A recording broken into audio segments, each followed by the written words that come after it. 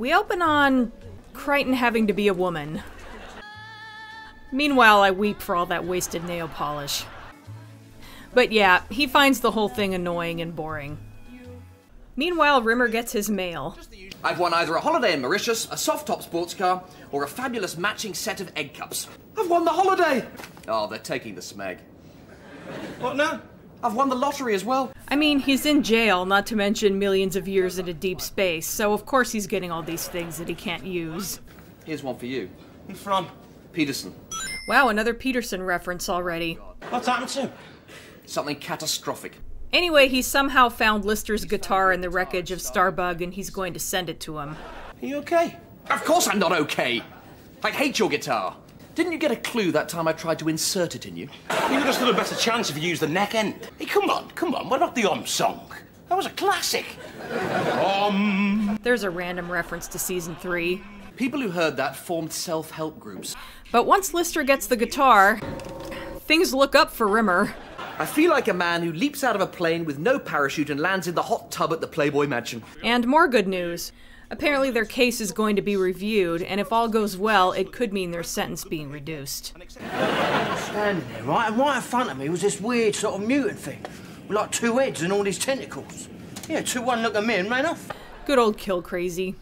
Meanwhile, Kryten is complaining about being classified as a woman, and the showering is mentioned. So hideously dull, I can't describe it.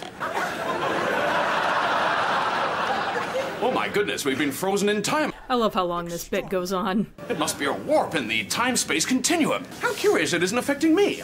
We were just thinking about what you were saying. It's weird how Kochanski is missing in most of these shots. Apparently, Chloe was sick while this was being filmed, so there's a limit to how much she could do. Anyway, Kill Crazy suggests that Kryten do some filming in that shower.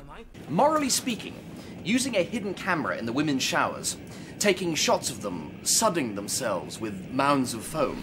Yeah, Rimmer just doesn't want to mess up their appeal. Yeah, I'm appealing. That's a minority view. But psh. We've just got to be model prisoners. Well, screw his appeal. I want to see skin. But of course, Kryten refuses. I'm a woman and proud of it. So excuse me, I'll be with my fellow sisters, doing it for ourselves. Go Criters? I was beaten up and mugged. This bit is great. Apparently, someone stole Ackerman's glass eye.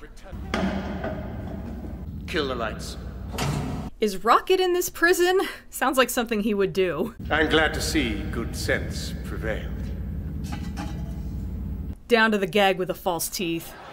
She thinks my eyes are my loveliest feature. If I go like this, I'm only half lovely! I know who stole your left peeper, sir. It was him, sir. I saw him playing marbles with it this morning, sir. Unfortunately, Rimmer is going to get himself in trouble at this rate. Afterwards, Kryten is knocked out.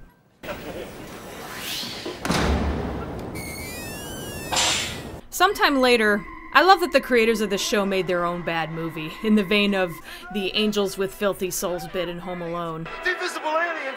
Look, there's one! I love it when they go the extra mile like that instead of just showing clips from an old Roger Corman or Ed Wood movie. Good evening. But, uh, the movie gets interrupted. Brought to you courtesy of Krytie TV. We bring you live and lithe Women's Shower Night. They got to him. They reprogrammed Kryten. Of course, this is all Kill Crazy's fault. Except that now Kryten is going to stare at a floor tile until they donate enough stuff. Going by Kill Crazy's reaction, apparently that wasn't part of the plan. Start filling those buckets. I love that there are t shirts already. You can find knockoffs of those online, by the way. Anyway, Rimmer and Lister keep trying to leave to tell someone about this. Rimmer because of the appeal, and Lister because he's worried that Kochanski will think he's involved. Mr. Kryten, visitor, sir. So somehow Kryten has gotten rich off of this. Lister thinks he knows how to reprogram Kryten so he'll go back to normal, but Kryten doesn't want that. It's made me rich, feared, and respected. I'm loving every minute of it. Ah, Miss Kochanski, I have a little gift for you. You know you were worried about picking up verrucas in the shower room. Well, I got the perfect solution. A waterproof pogo stick. Remember when Kochanski used to be smart? Think of the money. Think of the show. I'm not going to let you do this. Do what? Anyway, Lister lets her in on what Crichton has been up to. That's me. I saw the whole thing. All three terrible hours of it. They let them take three hour long showers in prison? I doubt that. I've got a merchandising meeting in two minutes. Excuse me. Of course, Kochanski is mad that Lister just watched instead of doing something about it. You've seen me with no clothes on when we went out. Wanted to see if anything had changed. If I'd known it meant that much to you, that you needed to see me naked so badly, I wouldn't necessarily have said no. We're friends, aren't we?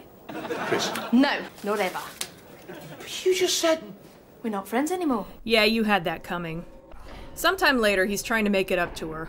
A bag of flour. Two bags? Flour? Flowers? That's too cute. I don't think I could stay mad at him. I can just see her reading the card. To make up for it, and to indicate how truly sorry I am, here's two bags of self raising. Something I didn't need any help with yesterday. Looks like Kryten got himself into trouble. The girls found out about shower night. They attacked me, cleaned out my system, and kicked me out. I've been reclassified as a man. A little later, he apologizes and figures Lister has heard the news about Kochanski. What news? You haven't heard? Heard what? The news. What news? You haven't heard the news. I love this bit. I can't believe you don't know. No, what? No one told you. Told me what? I'm so traumatized. No one's had the guts to tell you the horrible, terrible, terrible, appallingly hideous, awful news. Anyway, it turns out that Kochanski's gone back to her ex, the guy she left Lister for, only now he has a name. He's taking her to the officers' club tonight. Uh, probation permits it, provided she's back by 10. You're taking this very well, sir. I, I'm really impressed. No, I'm not, man. I'm falling apart. I know that, but I was just trying to cheer you up. Anyway, Kryten is a changed bot, and suddenly he wants Lister and Kochanski to get together.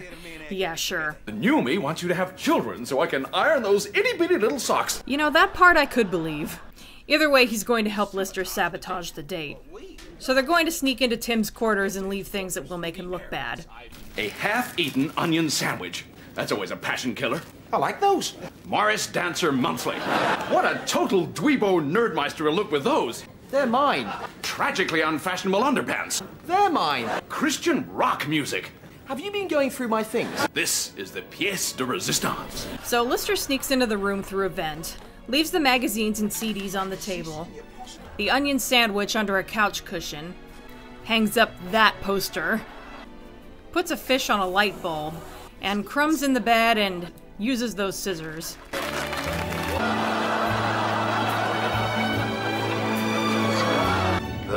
Assassin. Turns out he's been on Krytie TV all this time. Great disguise. Here he comes now. So Kryten made up the bit about Kochanski dating Tim, and those quarters that Lister just trashed actually belong to Ackerman. You said the girls had restored you back to normal. Whoops. You've been critered. Even Lister thought that was kind of funny. The appeal! Anyway, Ackerman is coming back soon, so Lister has to find a way back into that room so that he can clean it back up before then. Sorry to keep droning on about this, but what about. The appeal! Not sure why Lister didn't just go through that vent since that's how he got in in the first place, but oh well. In any case, they manage it. Thanks for watching, folks. See you next time. There he is! I was just trying to boost the ratings, sir. It was just a prank, brah. Later, Lister finally gets that appeal they've been trying to get, and Yes! From this day forth, all inmates with no records of violence or depression will be allowed to have strings on their guitars. This appeal was all about guitar strings. You didn't think it was about getting out of here, did you? it's a bad day for Rimmer. And as a personal thank you, I thought I'd write you a song. Aww. And so ends Krytie TV. So, this episode. Oh boy. Well, like I've said, unfortunately, there's a lot of jokey jokes in season 8 that involve women having no autonomy. They're just kind of there as prizes for male characters when they manage to crack the code that allows them to do whatever they want. First, there was the sexual magnetism virus in Back in the Red, and then there was. Actually, why was Kochanski going to sleep with Rimmer and Cassandra? Not a fan of Kochanski being dumbed down like this. And now Kryten is filming women nude without their consent. Haha. I can't wait for season 8 to be over. But if you can get past that, there are funny parts in this episode. Kryten is great, and so is the whole Krytie TV angle in general. Parts of it actually feel like YouTube prank videos, which is interesting. Rimmer is great too, and of course that bit near the beginning with Ackerman. Is Lister out of character in this one? Yes and no. Lister can be dumb, especially when it comes to Kochanski, so his handling the filming of her in a bad way doesn't seem to be out of character. My only issue is that after the fallout, he still doesn't seem to care about what happened to Kochanski. He only feels bad because she's mad at him. And I feel like Lister should maybe be a bit more mature than that at this point. And again, nothing about how every male prisoner has seen Kochanski naked and she has to deal with the fallout from that. She's basically a prop in season 8. So yeah, this one is a mixed bag. Parts of it are good, but parts of it are kinda gross. Next up is Pete. See you then.